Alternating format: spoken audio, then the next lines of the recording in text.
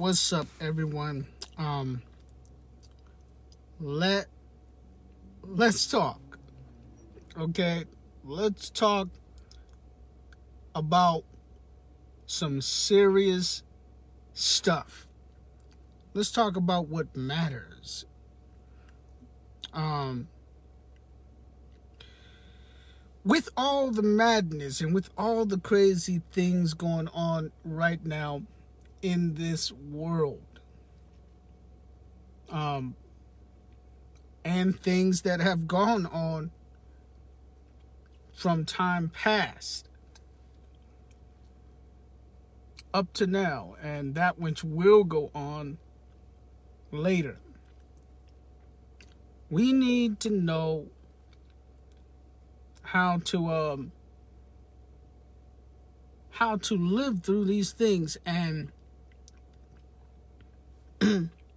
and how to to move in a divine way.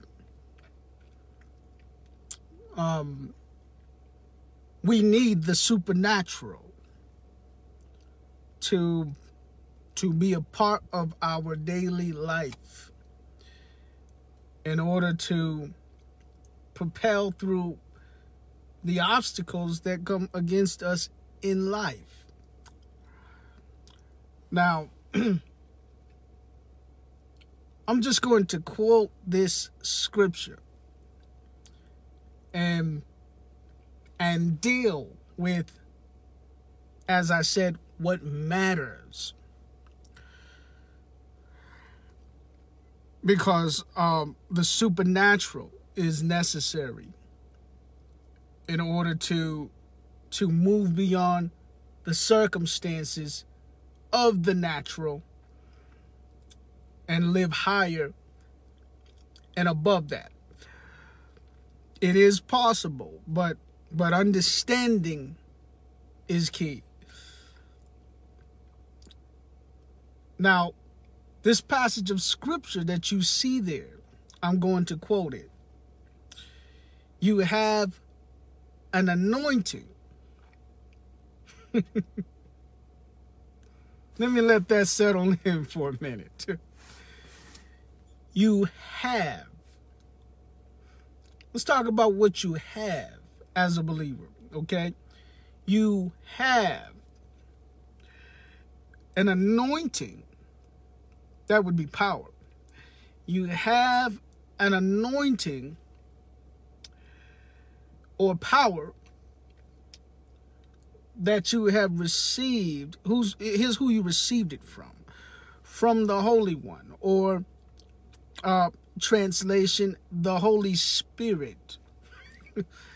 and and here's what that anointing does. That anointing teaches you concerning all things. I, I, I, I'm gonna say that again. I'm gonna say that again.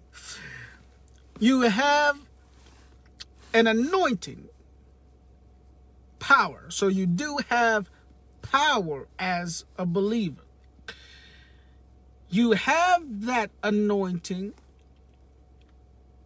or that power, and who you received it from was the Holy Spirit or the Holy One. Now, what that power does is that power, that anointing teaches you. Here's what it teaches you it teaches you concerning all. That that means that means nothing is left out. It teaches you concerning all things. Woo! Woo! now, I spoke earlier how God the Father has sent Jesus, his only begotten Son, and the Son came in order to do the will of the Father. But when the Son ascended into heaven and was given all power and authority over heaven and earth, the Son sent the Holy Spirit from the Father.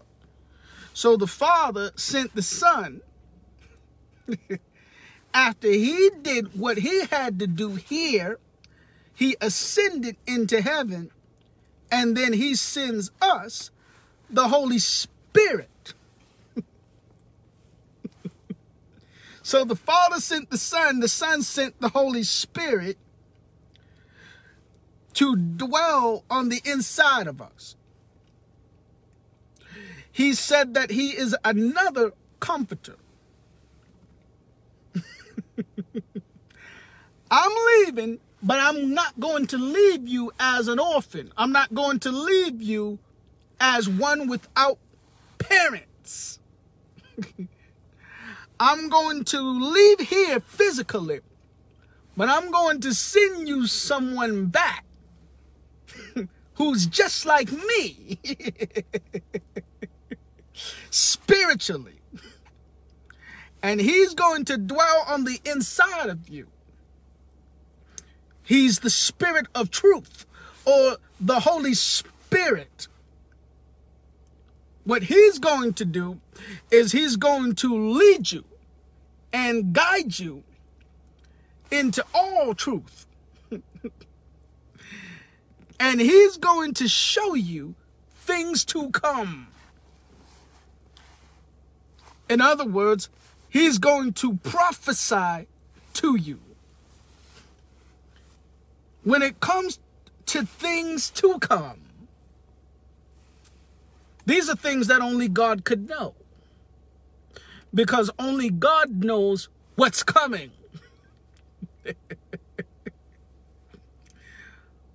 only God knows what's going to happen a week from now. Only God knows what's going to happen a year from now. Only God knows all things pertaining to the future. But he said the Holy Spirit is going to reveal to you things to come. Another thing that he said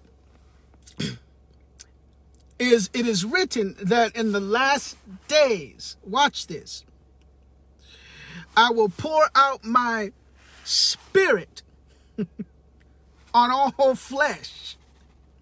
Here's what's going to happen when I pour out my spirit, the Holy Spirit.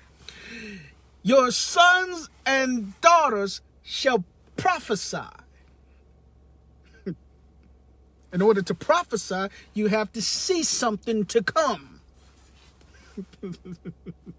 you have to know something that only God could know.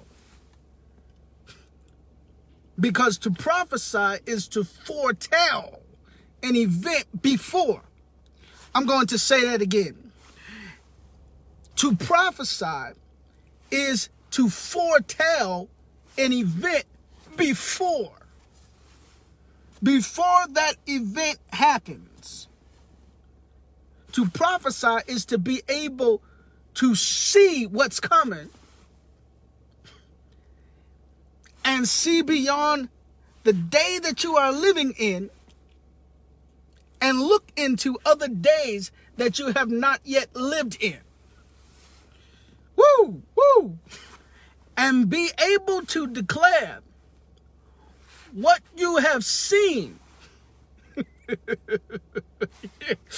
you better hear me. You, you better hear me. And and be able to declare what you have seen in days that have not yet gotten here.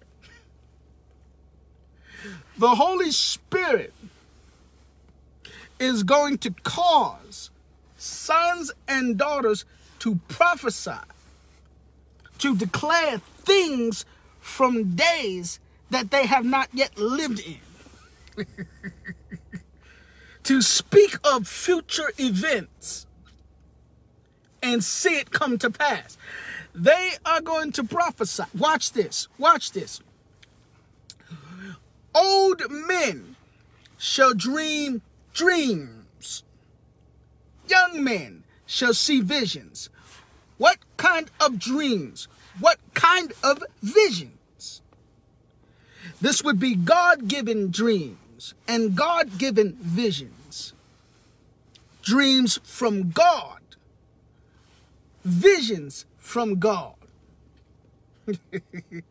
All of this a result of the Holy Spirit being poured out. Okay.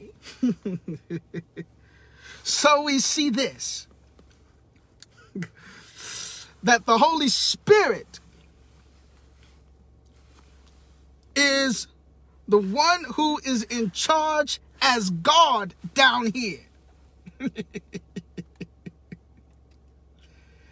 I'm going to say that again. The Holy Spirit is the one who is in charge as God down here. He's the one that's working as God down here. The Father is in heaven, seated on his throne. Earth is his footstool. Jesus also is in heaven, the physical body of Jesus, which was made uh, uh, immortal after being risen from the dead. It was sown in corruption, but raised in incorruption.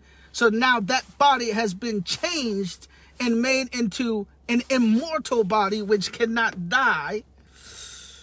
He is seated on the right hand side of the Father, also in heaven.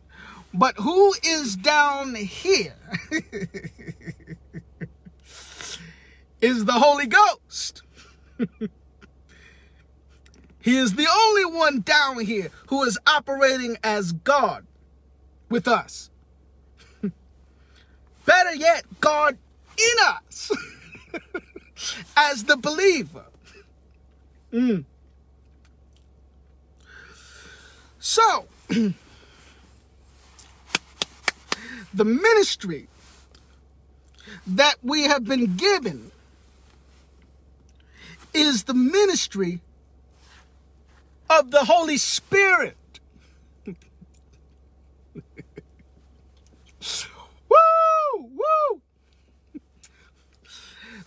The ministry that Moses was given was the ministry of the flesh, written and engraved on stones.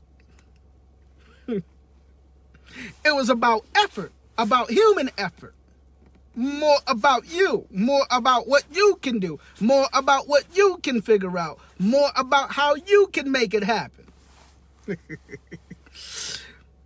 but the ministry that we now have is the ministry of the Spirit, the ministry of the Holy Spirit.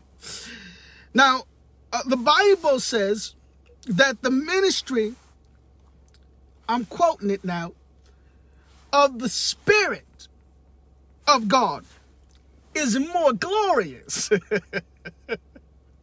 than the ministry written and engraved on stones. The ministry that Moses had had some sort of glory, but nothing compared to the glory that is revealed under the ministry of the Holy Spirit. because the ministry of the Holy Spirit is less of you and more of God. Woo! But the ministry written and engraved on stones was more of you and less of God. It was more, thy shall not, thy shall not, don't do this, don't do that. It was all about your effort to follow commandments. Woo! But the ministry of the Holy Spirit is less of you and more about God. Woo! More about anointing.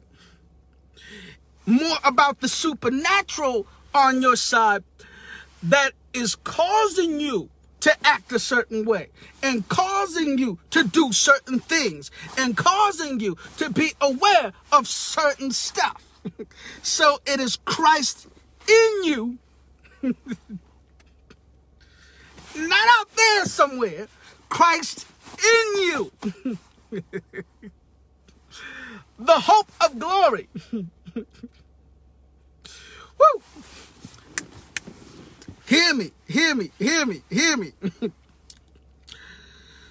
so we see that the Holy Spirit is poured out in the last days. Days. Plural, not singular. Plural, meaning more than one day. the Holy Spirit is poured out in the last days on all flesh. Woo! Sons and daughters shall prophesy. Young men shall see visions. Old men shall dream dreams. Now, how do these dreams happen? How do these visions happen? How do these prophecies come to the sons and daughters in order for them to prophesy? How are they getting this? Let me tie this into the scripture that I have posted. you have an anointing that you have received from the Holy Spirit from the Holy One. You have an anointing that you have received. And that anointing teaches you concerning all things. So, the anointing, watch this. The Holy Spirit gets on the inside of you. and then he releases, watch this. I'm going to show you how God does it. I'm going to show you how God does it. He gets on the inside of you. and then he releases an anointing on you. and that anointing that he releases on you causes you to have the ability to prophesy, to see things in the future, and to be able to declare the stuff you see coming. Woo! The anointing he releases on you causes you to dream dreams from God and see visions from God. Now, dreams, hear me, and visions is a language from God. I'm going to say that again. Ah, you didn't get it. Dreams and visions is a language from God sent to us by the Holy Spirit, and the anointing is what causes us to receive that. So, the more anointing, I'm going to let that settle in for a minute. I, I, I, the more anointing of the Holy Ghost, then the more teaching by the anointing, the more seeing visions, the more seeing of visions, the more seeing and dreaming of dreams from God, the more hearing the voice of God the more being aware of certain stuff that you wasn't aware of. Because the anointing is telling you, go here, go there, talk to this person, do this, do that. The anointing is making you aware of certain stuff. Now, let, let, let, let me help you understand. When you don't know what to do, sounds like you, yeah, it does. When you don't know what to do, the Holy Spirit begins to release the anointing. And that anointing causes you. It causes the, the real you on the inside to come up with an awareness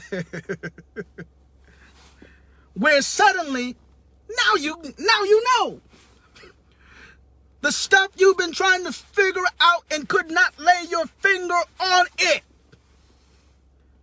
The holy spirit releases an anointing on the real you your spirit the spiritual you and then the spiritual you begins to wake up and begins to take over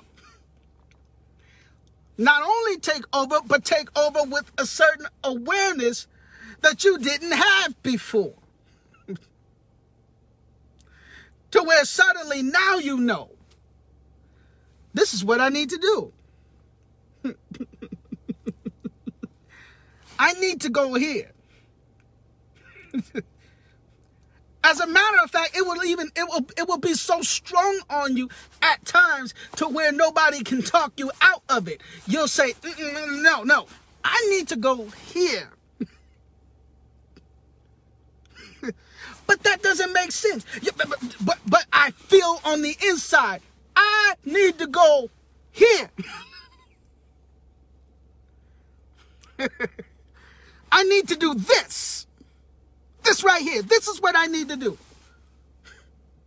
Suddenly you begin to start knowing things that you didn't know before because the anointing of the Holy Ghost will make you know. This is often how the Spirit of God speaks to us. He says, I see what you're going through. You're dealing with some stuff. You're hard pressed on every side, yet not crushed. Perplexed, but not in despair. Struck down, but not destroyed. You still believe, but you don't know how none of this is going to come together or work for your good. That is when the Holy Spirit, as you believe, he begins to release an anointing that causes you to see with his eyes, to perceive things beyond what is natural.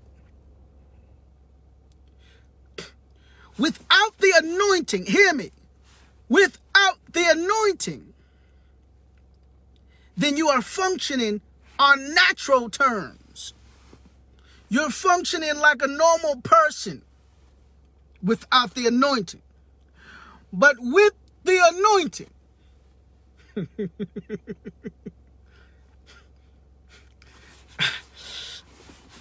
you are functioning beyond what is normal beyond what is natural. You are functioning supernaturally. Because now you're able to know things that you never was able to figure out. You're now getting dreams that make sense. Where when you wake up, you remember the dream. You got some answers from the dream. God let you see what he sees. he showed you what's on his mind. Here's what you got to understand about dreams from God. dreams from God is that which is on God's mind.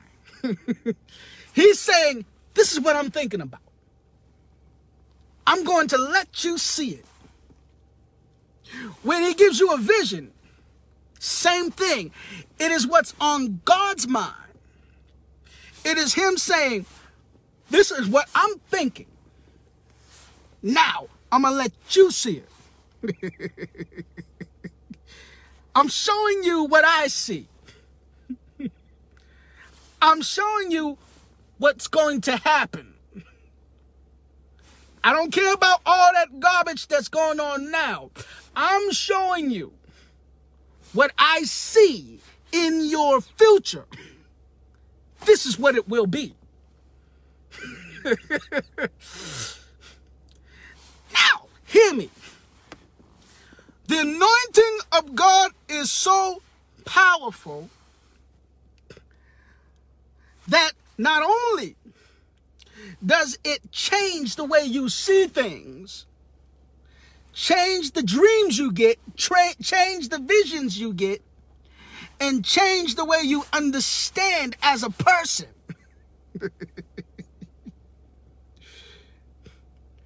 Putting you in the rim to where you can see things as God sees. but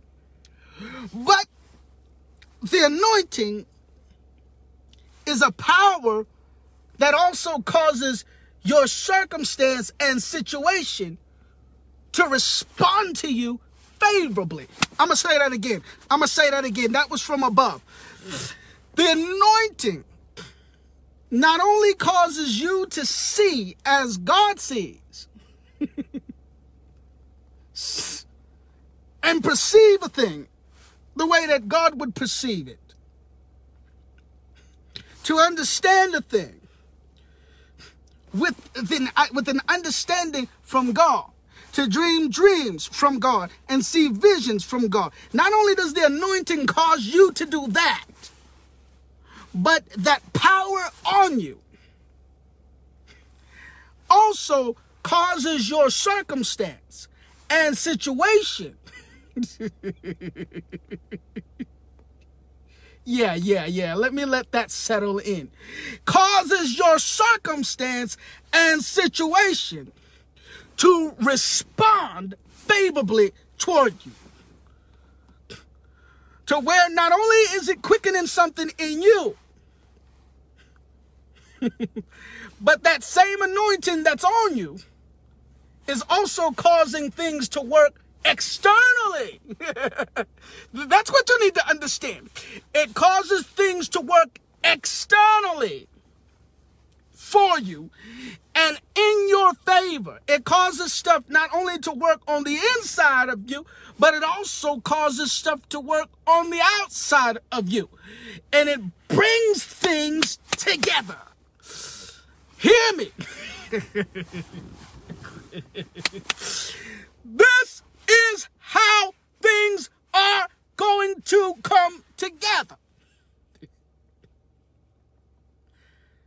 Yes, I'm talking to you.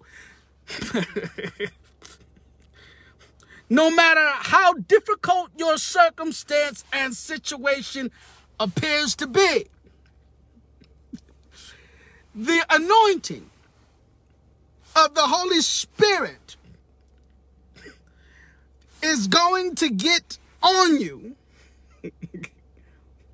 as you believe. And that anointing is going to change the way you think. yes, I'm talking to you. It's going to change the way you think, the way you do things. It's going to change the way you use your gift it's going to change your abilities and talents. It's going to change what you know and what you understand. It's going to change the dreams you have and the visions you have. It's going to change all of that. And it's also going to cause your external situation that you're going through to respond favorably toward you. uh, uh, uh, the anointing is how God does everything. He gives you the Holy Spirit, and the Holy Spirit releases an anointing that's designed to make you see things the way God sees, one, and also make doors open for you and for stuff to be favorably on your external. So it works internally and externally. The anointed. we're, we're, we're sitting here saying, Lord, show me this. Lord, tell me this. Lord, what do I do? How do I fix this? How do I fix that? And, and, and we're not getting the answers that way. Because he wants to release an anointing. He's saying, stop asking me that. And understand that what I want to do is I want to release an anointing because my anointing is not only going to give you the answer you was looking for it's going to cause the answer that you was looking for to come to pass. Now hear me. We think that what we need to do is we need to ask God to tell us what to do. yeah, yeah, I know I just hit about 90% of you right there. We think that what we need to do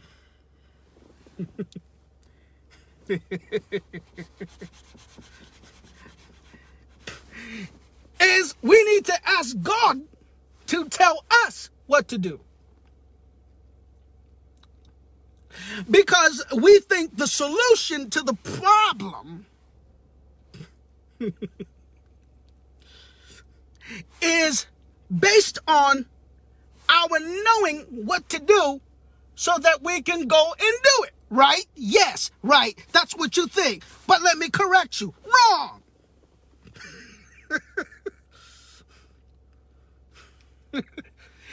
and this is the stall here.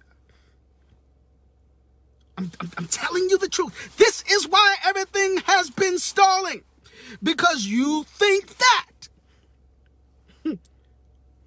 but let me help you with the word. We don't need God to tell us what to do because it's not up to us to go and fix it. See, that's what we want. We because it naturally, naturally, we think that if God just tell us what to do, then we can take that information and run with it. The problem with that is this. If God was to do that, and you were to take the information and try to run with it and make it happen, you would mess it up. so, the reason why God is not giving you that, yes, I'm talking to you. The reason why He's not giving you that is because the way that He wants to do it is not that way. Now you may think, Lord, why are you silent? Why are you not telling me what to do? Don't you know that if I don't know what to do, I'm going to make a bigger mess? Why are you going to leave me like this and let me make a bigger mess? I don't know what I'm doing.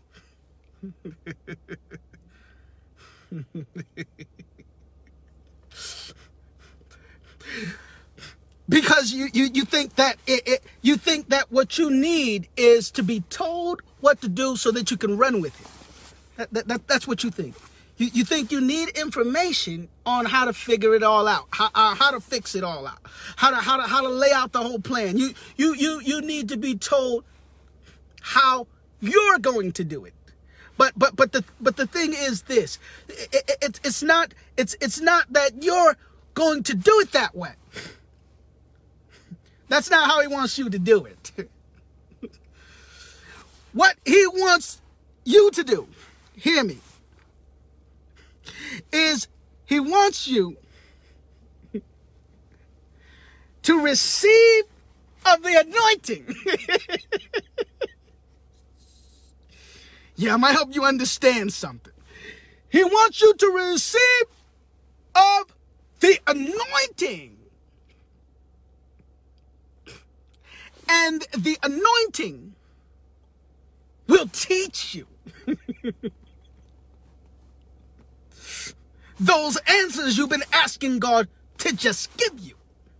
Now, here's the difference between the anointing teaching you and God just giving you answers.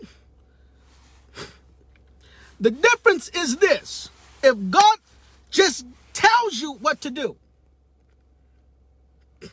and you begin to take the information and try to make that happen yourself, then you will screw up his timing because only he knows his timing. You will screw up and mess everything up if he were to give it to you that way. That's why you're not getting it through that channel.